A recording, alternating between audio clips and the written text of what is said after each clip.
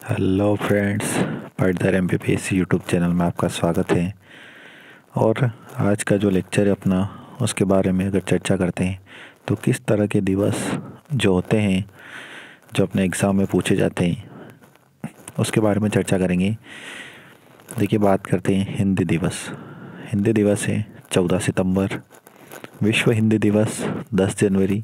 विश्व मातृभाषा दिवस 21 जनवरी। देखिए ऐसे जो क्वेश्चन होते हैं, इसमें स्टूडेंट को, बच्चों को बहुत सारे कन्फ्यूज़न होते हैं। तो आप यहाँ से अच्छे से आपको मैं क्लियर कर देता हूँ कि हिंदी दिवस 14 सितंबर को, विश्व हिंदी दिवस 10 जनवरी को, विश्व मातृभाषा दिवस 21 फरवरी को।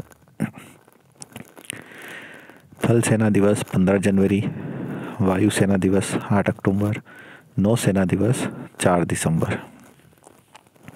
पृथ्वी दिवस सत्ताईस अप्रैल, राष्ट्रीय पंचायत दिवस सत्ताईस अप्रैल, विश्व स्वास्थ्य दिवस सात अप्रैल, अंतर्राष्ट्रीय पृथ्वी दिवस बाईस अप्रैल। इस तरह के जो क्वेश्चन होते हैं एग्ज़ाम में पूछे जाते हैं।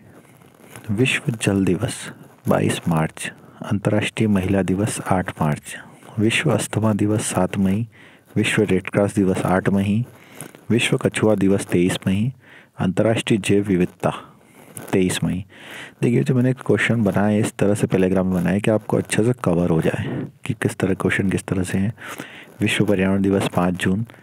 अं-, अल्पराष्ट्रीय योग दिवस अंतर्राष्ट्रीय योग दिवस इक्कीस जून। विश्व शरणार्थी दिवस बीस जून। विश्व रक्तदान दिवस चौदह जून। कारगिल दिवस छब्बीस जुलाई। विश्व हेपेटाइटिस दिवस अट्ठाईस जुलाई। संस्कृत दिवस चौदह अगस्त, स्वतंत्रता दिवस पंद्रह अगस्त।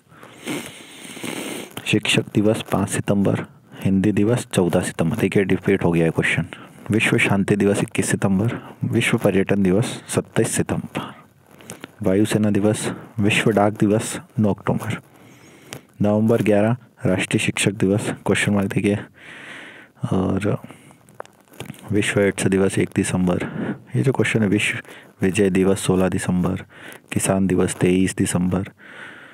इस तरह के क्वेश्चन एग्ज़ाम में पूछे जाते हैं। तो देखिए, आपको जो किस तरह के दिवस एग्ज़ाम में पूछे जाते हैं, इसके विषय में अपना लेक्चर था। आप मेरे चैनल को ज़्यादा से ज़्यादा कमेंट कीजिए लाइक कीजिए सब्सक्राइब कीजिए। जय हिंद, जय भारत, वंदे मातरम।